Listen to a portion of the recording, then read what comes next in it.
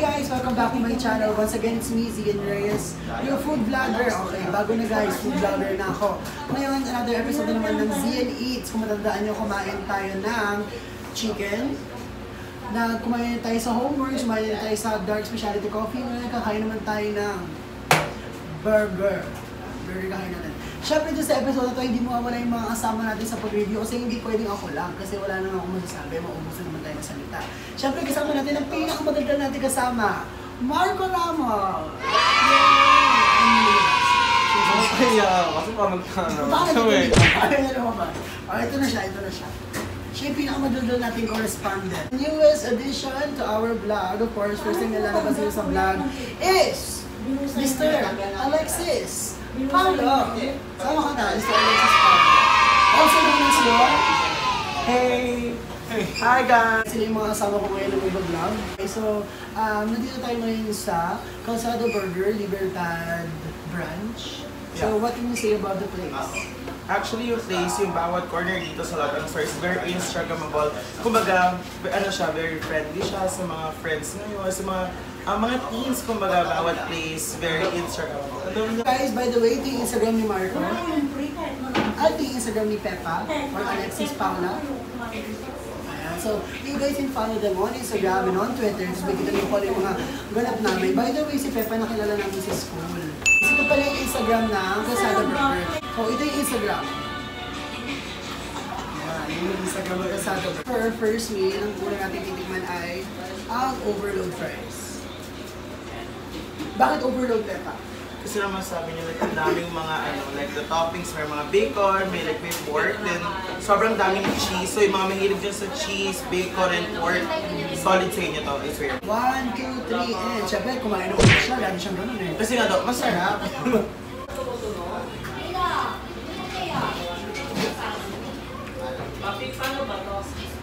Ito, nakakatawa kasi yung fries ng lalaki.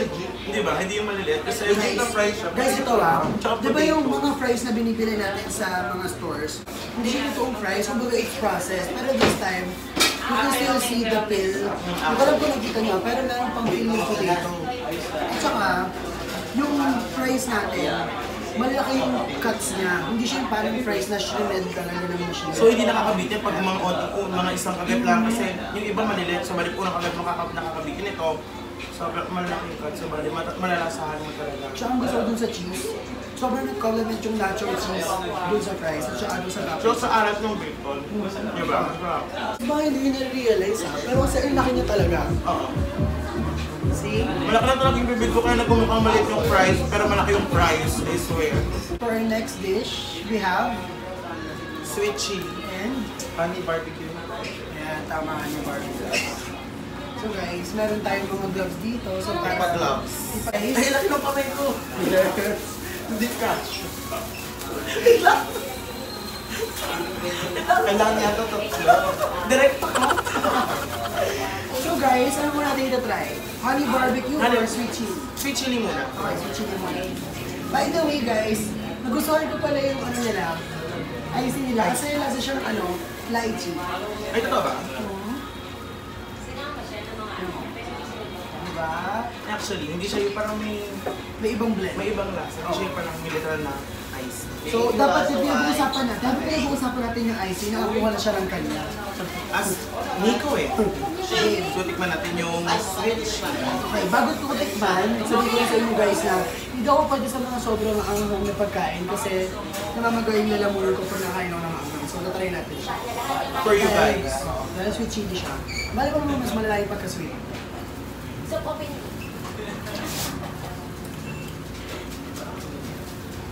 Oh guys, maanghang siya, pero no over, hindi naman na-overpower yung sweet, pero nagko-complement yung sweet dun sa anghang. Tapos tolerable siya. Pero ang sarap. Ang sarap na gin. Bakit sinabi ko? Sarap sa word. Ang sarap legit. Hindi siya sobrang anghang. So, may, may mga ano dyan, may mahihina yung tolerance sa anghang. Good pa rin sa inyo. Habang kinakain natin kanina, ayun nga.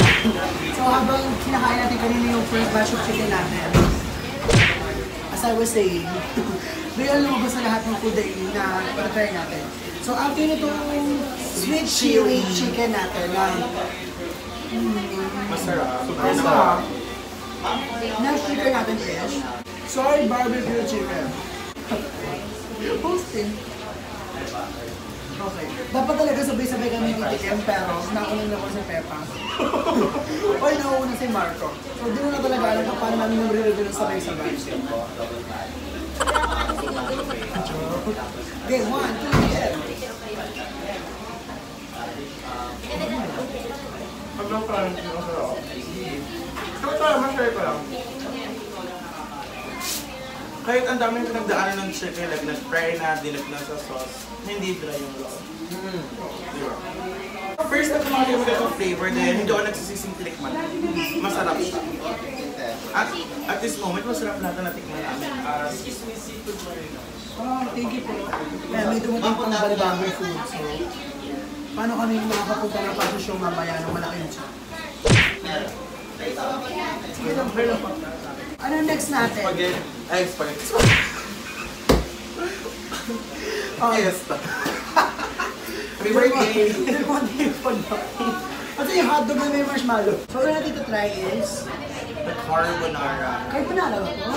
Ay, ay, Pilipinas pa rin ito. Alfredo pasta. Oh, Alfredo! Sabi ng Alfredo. Captain Alfredo yun ah. Ito yung kapit. Okay. Ito na Carbonara and 3, 2, 1. Pansin ko, ano siya? Garlic. Garlic. Garlic. If ano ko ng garlic. Yung ano? Mga garlic? Garlic? Kasi mati pa lang na creamy lang, cheesy ito. Parang may lasa siya ng garlic, which is nagbabalance siya dun sa creaminess ng pasta, ng, ng sauce. Tapos plus pa yung may bread pa sila na garlic. For our next pasta, we will have the Pesto. Matanina. Pesto. Ang ganda, ang ganda ng pagkakatwirl ko. Acting na acting. Two, one, hit!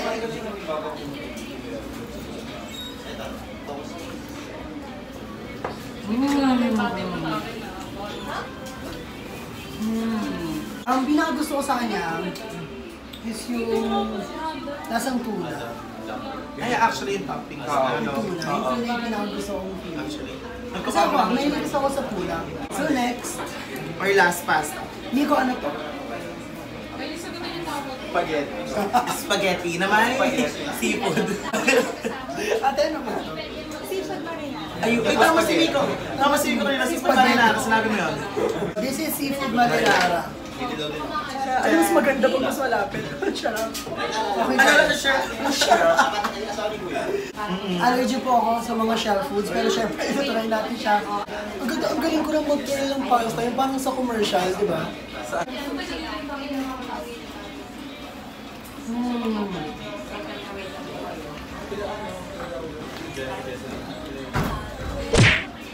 Sa mga ganitong pasta, pag gumagamit ng norm, ano, part ng fresh tomatoes, parang nagiging maasim. Ay, maging maasim. Ma- nagiging maasim, pero ito hindi siya maasim. Actually, masarap siya malinamnam.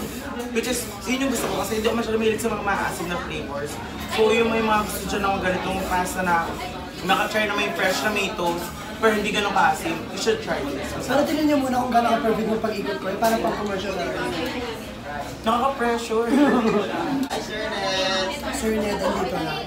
Magayon po kayo sa vlog. Hello. Yan. Kain kayo. Birthday ko. Birthday ko. Birthday ko. Birthday po ni birthday. You. sinabi. Guys, welcome sa birthday party ni Pepa. Birthday ko na. Fight. Fighting. Ngayon guys, nandaan si Kuya. Kuya, kaya mo ba? Kuya, wag ka na yung mukha okay lang. Edit ko na.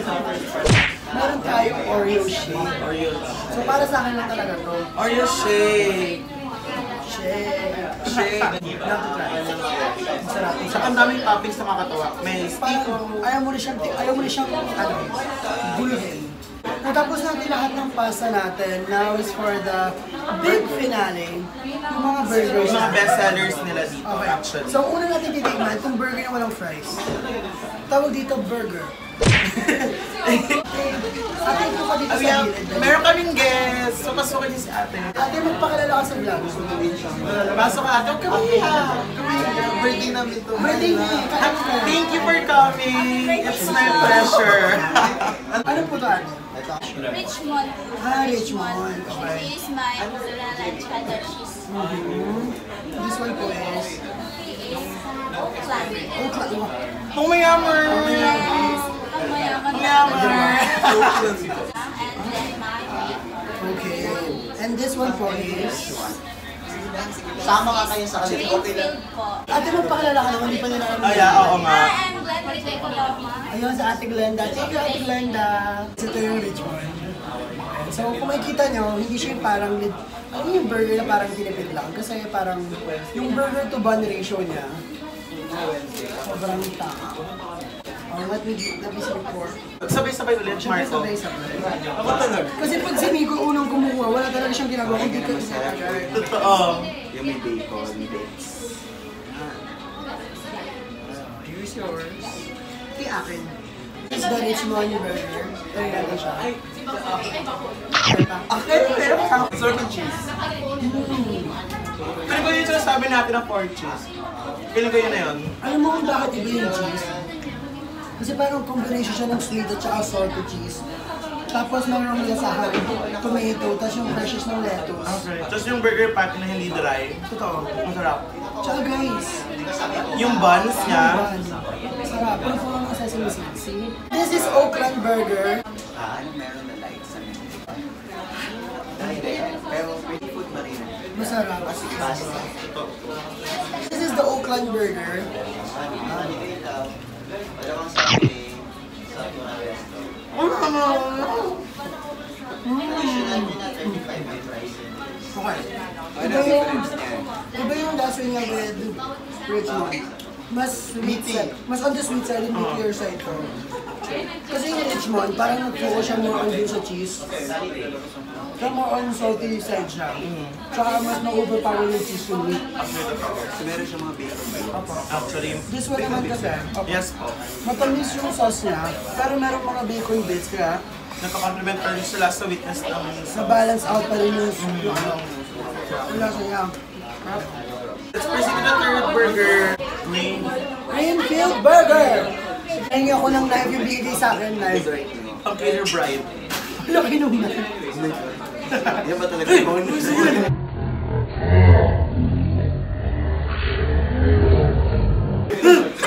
Gulat din ako dahil. Wait lang, nape-pressure ako sa pagkat. Ang bagal mo naman mag-cut. Sorry po sa mga prop ko sa Wala na school. wala tayong oras. Live pa naman to. Sobrang kapal ng patty. Mas makapal pa sa'yo. Hindi, basta kapal pa rin ako. Rin. One, two, three, and... Dapat buo. Ano? Ba't kaya nga? Uy, ang laki ng. Hindi ko kaya laki. Basic. Ah. Yung pati niya parang may touch ng ulong galing sa side. Actually, parang, parang ang ano eh, pag pinagsama yung dalawa, parang yung ano nasa sobrang Actually, parang yung last burger natin, parang pinagsama ng Richmond at saka ng Oakland. Saka hindi siya, hindi siya dry.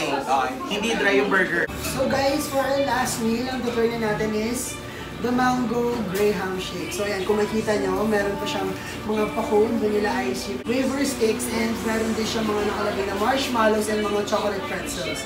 Siyempre sa atin maglalaan muna siya kasi important part ng natin yung mga pumapasok na customer.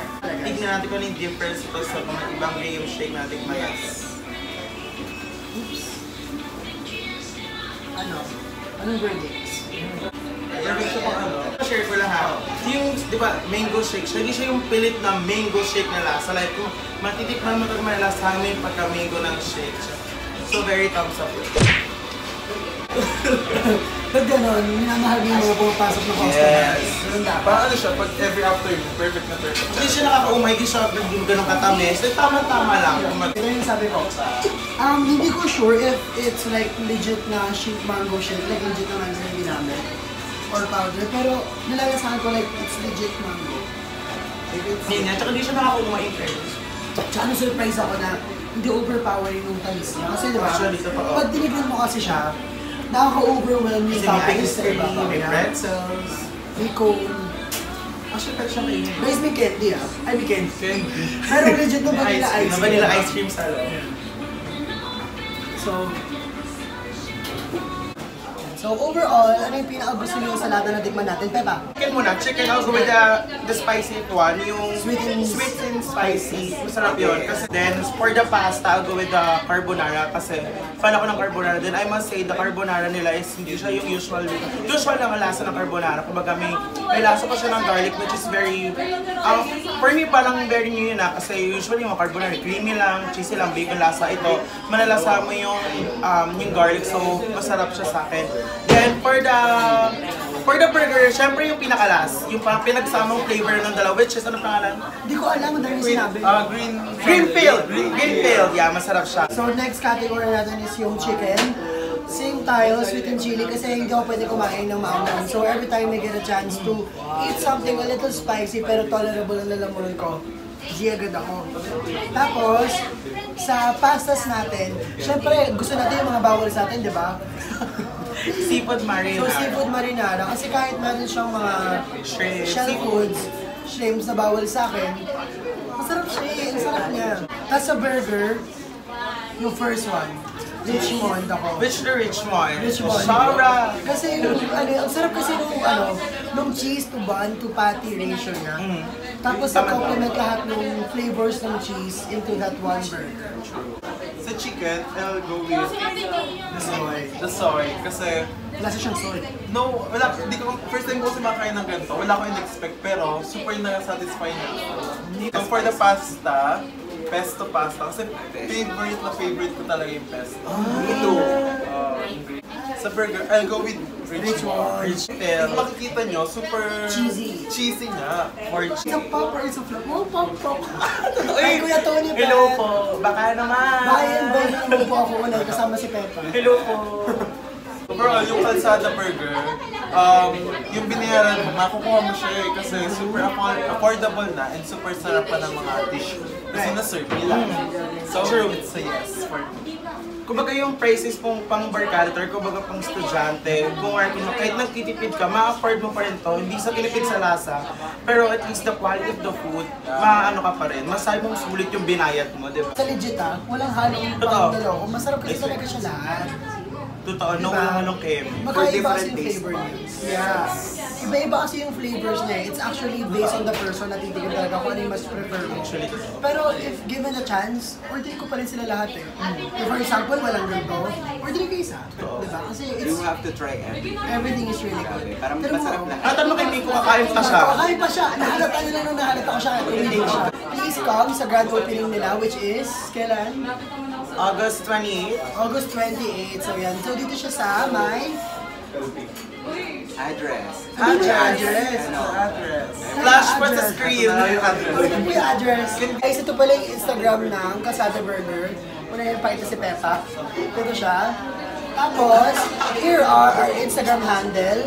Instagram handle ni Peppa. Instagram. Instagram handle ko kay Mark. So once again guys, it's Wheezy and Reyes together with Peppa, Marco, and Zerned. And dito na natatapos yung vlog natin. So don't forget to like and share this video. At syempre, inabot mo na yung kaduluduluan ng video ko. Don't forget to click the notification bell na para alam mo, pag kumain na naman kami, para hindi kayo nagtatanong sa sa Instagram kung ba't tumaba ako. Ay, nakita niyo naman, di ba? Ay, kayo lang matama. Ay, yes. Ang nipis. so once again guys, bye! Bye!